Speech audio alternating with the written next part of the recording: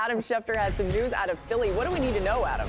Laura, minutes ago, the Tennessee Titans sent their Pro Bowl safety Kevin Byard to the Philadelphia Eagles in return for fifth and sixth round picks along with safety Terrell Edmunds. So another trade. The Eagles needed some help in a secondary that had had some injuries recently. They're coming off the win last night, and they now add Kevin Byard to the fold to help out moving forward. And there you see the compensation again two picks, a safety, and the Eagles, who had been looking for help in the secondary, find their man. And now he is reunited with A.J. Brown. The Eagles once traded with Tennessee for a wide receiver.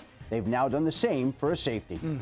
Yeah, Adam, as you're saying this, the boys up here are saying, this man don't stop. I'm assuming you're talking about Howie Roseman. RC, yeah. how big a deal is this for that Eagles secondary? I mean, when you look at what Suge Knight, I mean, Howie Roseman has been doing in acquiring – talented players for this team. He's one of the best in the world. And now you get Kevin Byard, an all pro, Pro Bowl caliber safety who still has a lot left in the tank. And they need someone that can create ball disruptions on the back end. They had Brown and Edmunds playing the safety position. Blankenship was hurt in the last game. Now they take such a step up at that position, adding a player that was much like CJ Gardner Johnson, who they lost to the Detroit Lions. This is a huge move for a team that needed help at that position.